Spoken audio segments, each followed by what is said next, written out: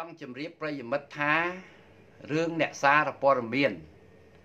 ដែលតាំងខ្លួនឯងថាជាក្រុមអ្នកកសែតឯករាជ្យហើយដែលបានទៅកកោកកាយបង្កើតបញ្ហានៅគយប្រចាឥឡូវនេះចង់ជម្រាបបងប្អូនឲ្យបានជ្រាបថា អង្គពុកប្រាជ្ញរបស់យើងបានដាក់ការទុះទាយថាយ៉ាងយូរថ្ងៃច័ន្ទព្រោះនឹងវាកើតតាំងពីសុក្រសៅរ៍អាទិត្យចុងសប្តាហ៍នោះមកយ៉ាងយូរថ្ងៃច័ន្ទឥឡូវថ្ងៃច័ន្ទមែនកយប្រែកចាក់កយខេតកំពតបានសម្រេចចិត្ត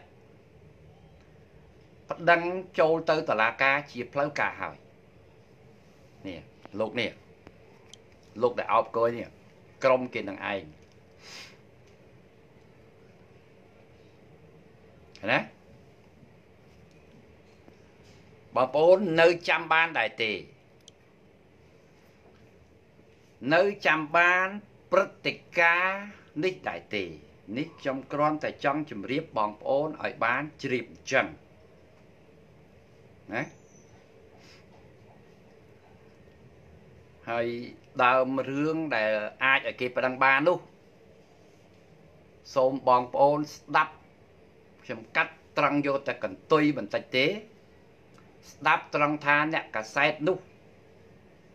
បានទៅរំខានដល់សមត្ថកិច្ចគេកំពុងតែធ្វើការផង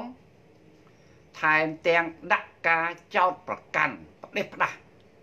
ប៉ះពាល់ដល់ឥទ្ធិពលរបស់អង្គភាពសមត្ថកិច្ចគយផងដែរ អញ្ចឹងវាសំរុំទាំងគេប្រដឹងហើយតែយើងចាំមើលតឡាការកាត់យ៉ាណាអានឹងជារឿងរបស់តឡាការនេះអង្គរឿងវាមកវិញចាបាទបាទបាទបាទនេះហើយមេកុយបាទមេកុយមកសោះមេកុយទៅជួយឈាមប្រជាបរតធ្វើបាទប្រជាបរតសម្រាប់ប្រជាបរតមានគ្រូពិនិត្យទៅបាទខុសច្បាប់នេះហើយមេកុយទៅបើមេកុយប្រចាំ ឡាបាទសម័យអូខេអាហ្នឹងគឺវាអញ្ចឹងហើយបន្ទាប់ពីនឹងមកសូមស្ដាប់សម្ដីរបស់គាត់សម័យខ្លួនរបស់គាត់ក្រោយពេលមួយថ្ងៃចេញពីប្រែចាក់ហ្នឹងគាត់មកកំពង់សោម គាត់មកកកោកកាយររឿងអរិញណែចិនបាទនៅបៃនុកហ្នឹងក្នុងរៀមហ្នឹងហើយគាត់ក៏បានលើកបញ្ហានេះអញ្ចឹងសូមស្ដាប់សូមស្ដាប់អរិញណែសម្ដីរបស់អឺជនដែលរងការចង់ចង់ចង់មិនដឹងណាចង់ចោតណានេះលោកនេះ និយាយប្រាប់ថាខ្ញុំអត់ទាន់បានចូលទេបើសិនជាមេច្រកគាត់មិនទាន់បានអនុញ្ញាតអញ្ចឹងបងឲ្យលេខមកប៉ុន្តែនៅទីនោះគឺខលបានតែស្មាតហើយស្មាតទូរស័ព្ទរបស់ខ្ញុំគឺខ្ញុំដាក់នៅក្នុងឡានអញ្ចឹងខ្ញុំទូរស័ព្ទទៅគាត់លេខ097ពេលនោះអស់ថ្មអស់អស់លុយគាត់ក៏បានខលមកខ្ញុំវិញខ្ញុំកំពុងតែរងស្ដាប់បញ្ជាពីគាត់ជាមួយលោក អាលោកប្រធានកោយការិយាល័យកោយប្រែចាស់រួមនឹងអ្នកសារព័ត៌មានដទៃទៀតប៉ុន្តែលោកជីថុលក្នុងនាមគាត់ជាប្រធានការិយាល័យជាមន្ត្រីហេតុអីក៏គាត់មិនសួរនាំហើយក៏គាត់មិនស្ដាប់មេច្រកសិនហេតុអីក៏គាត់មកកឆក់ទូរស័ព្ទទាំងកំរោលនឹងដេញចាប់ អ្នកកសែតយ៉ាងកំរោលយ៉ាងដូចនេះដូច្នេះខ្ញុំត្រូវតែទៀមទាយកទូរស័ព្ទរបស់ខ្ញុំវិញពួកខ្ញុំវិញបន្ទាប់ពីឲ្យទូរស័ព្ទហើយអីហើយទាំងលោកជីថុលទាំងលោកសេងបលិស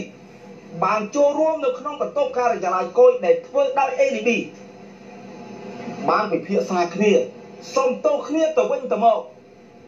ដោយក្តីរីករាយជាទីបំផុតប៉ុន្តែបន្ទាប់ពីឃើញ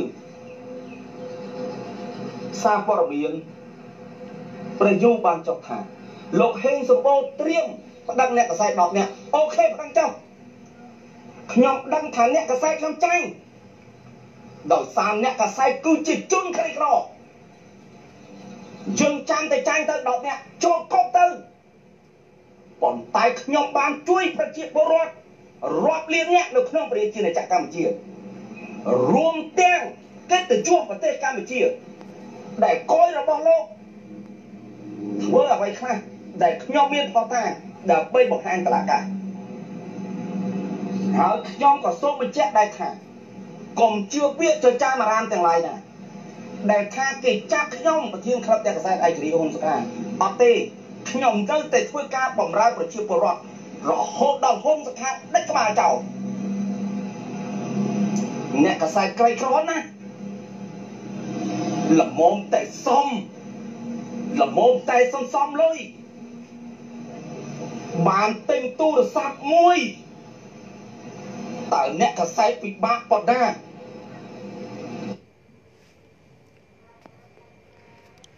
អូខេរឿងនេះខ្ញុំមិនបាច់ធ្វើអត្ថាធិប្បាយវែងឆ្ងាយទេ ដោយសារតែវាឥឡូវនេះវារុញធ្លាក់ទៅដល់ដៃរបស់តឡាការទៅហើយអញ្ចឹងយើងទុកឲ្យសមត្ថកិច្ចតឡាការខេត្តកំពតលោកដោះស្រាយផងទៅចុះគ្រាន់តែយើងចង់រំលឹកបងប្អូនថា អង្គពុកប្រាជ្ញយើងនឹងធ្លាប់បានលើក ថាបើសិនជា អង្គភាពកយមិនប្តឹងទេនោះបានសេចក្តី ថា អង្គភាពកយនោះពិតជាបាន ប្រព្រឹត្តអំពើពុករលួយប្រេះផ្ដាស់បំផ្លាញផលប្រយោជន៍ជាតិសម្រាប់ប្រជាពលរដ្ឋមែនដូចអ្នកកសែតនោះបានចោទប្រកាន់ឥឡូវនេះយើងក៏បានដឹងដែរថាអ្នកកសែតនេះគេមានផោះតាំងនៅក្នុងដៃរបស់គេអូខេអញ្ចឹងយើងទុកឲ្យក្រុមអ្នកកសែតទាំងជាង10អ្នកនេះ ហក់ឡើងលើវេទិកាច្បាប់ជាមួយនឹងកយទៅយើងគ្រាន់តែជាអ្នករងចាំតាមដានទាំងអស់គ្នាអញ្ចឹងប្រិមិត្តណាយើងសុំប៉ុណ្ណឹងយើងឥតមានអំណាចយើងឥតមានសិទ្ធិអ្វីថាកយត្រូវឬមួយក៏កយខុស អ្នកកសែតត្រូវឬមួយក៏អ្នកកសែតខុសទេ ដើម្បីកុំឲ្យរំខានដល់កិច្ចការរបស់តឡាការតែយើងសង្ឃឹមថាតឡាការនឹងរកយុត្តិធម៌ជូនភាគីទាំងពីរជាធម្មតា យើងគ្រាន់តែកត់សម្គាល់ឃើញថា ភាគច្រើនសម្រែកនៃសង្គម Facebook មានឥទ្ធិពលខ្លាំងណាស់បងប្អូនទទួលស្គាល់ដែរអត់បច្ចុប្បន្នហ្នឹងបច្ចុប្បន្ននេះសង្គម Facebook មានឥទ្ធិពលខ្លាំងណាស់លើកិច្ចការសង្គមបងប្អូនជឿថាអញ្ចឹងដែរអត់មានរឿងជាច្រើន ដែលបានត្រូវសមត្ថកិច្ច Facebook ខ្ញុំប្រើពាក្យថាសមត្ថកិច្ច Facebook ចាត់ការបានជោគជ័យជាស្ថាពរជឿឬមួយក៏មិនជឿរឿងច្រើនហើយឲ្យយើងលើករឿងច្រើនណាតាំងពី PM មេបញ្ជាការ PM រតនគិរីរឿងផៃវណ្ណៈរឿងអដែងបច្ចៅអធិការវត្តច្បារអំពៅ សិតតែ Facebook កាត់ក្តី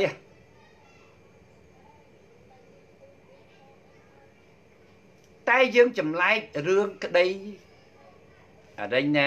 អ្នកកសែតតែឆាឆៅគយនេះយើងមើលឃើញបត់ខមមិននឹងការផុសឡើងរបស់អ្នកលេង Facebook ភាគច្រើនគឺគេអត់កាន់ជើងកសែតហ្នឹង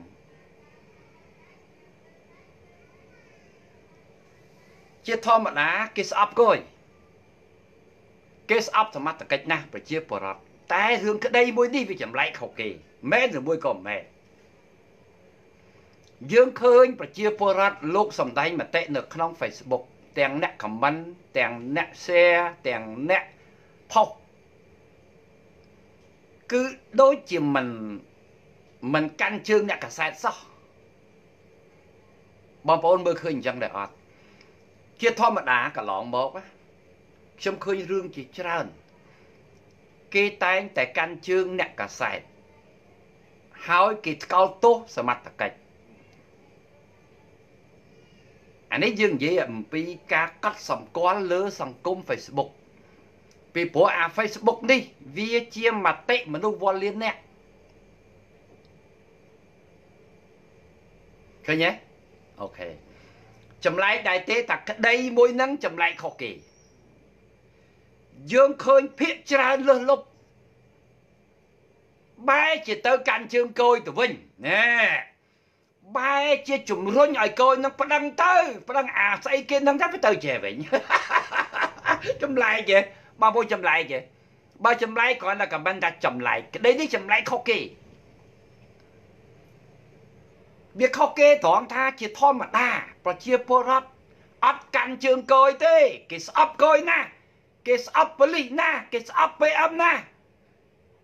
តែម្ដងនេះបែរជាបែរជាតកាន់ជើងគយហើយនាំគ្នាខមមិនការពារគយហើយជំរុញឲ្យគយនឹងប្តឹងទៅអ្នកបើទៅចេះក្តីនឹងមួយខុសគេមែនឬមួយក៏មែនក្តីចម្លែកតែអញ្ចឹងយើងទុកភារៈនេះឲ្យតឡាការចអានេះយើងវិភាគ ពុកប្រាច់គ្នារឿងសង្គមឯងយើងរៀនចាប់អារម្មណ៍ក្នុងក្តីនីមួយនីមួយមិនអញ្ចឹងហ៎អូខេ